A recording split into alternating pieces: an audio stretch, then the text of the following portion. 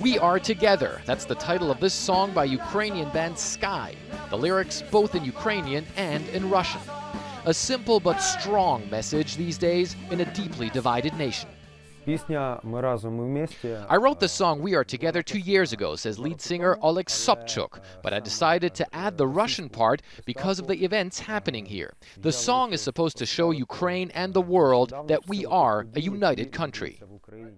As he shows me the band's rehearsal space, Oleg says the song is going viral here.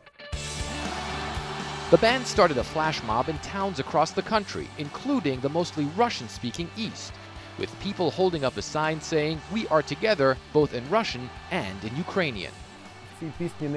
There is no political statement in this song, he says. This song calls on people to unite and to respect and love each other, even if they speak different languages.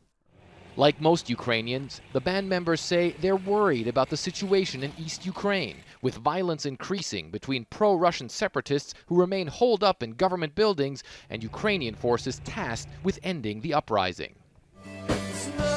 But Oleg says, in his view, the months of protest that brought new leaders to power in Kiev was never about moving the country closer to Europe or to Russia. It was about better governance and more opportunities for the people.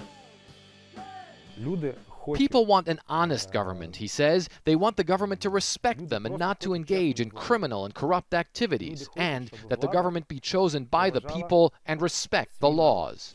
And one thing is clear, he says if it is to be successful, Ukraine will have to be a united nation. Together, forever. Fred Pleitgen, CNN, Kiev.